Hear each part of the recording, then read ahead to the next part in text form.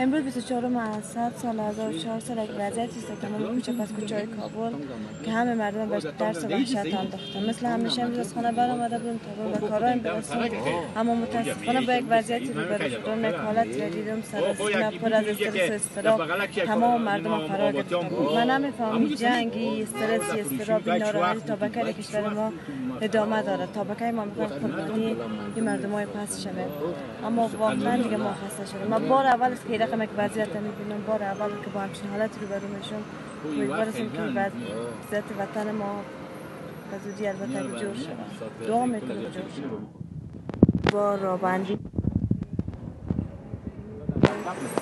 بسیار وضعیت های خراب.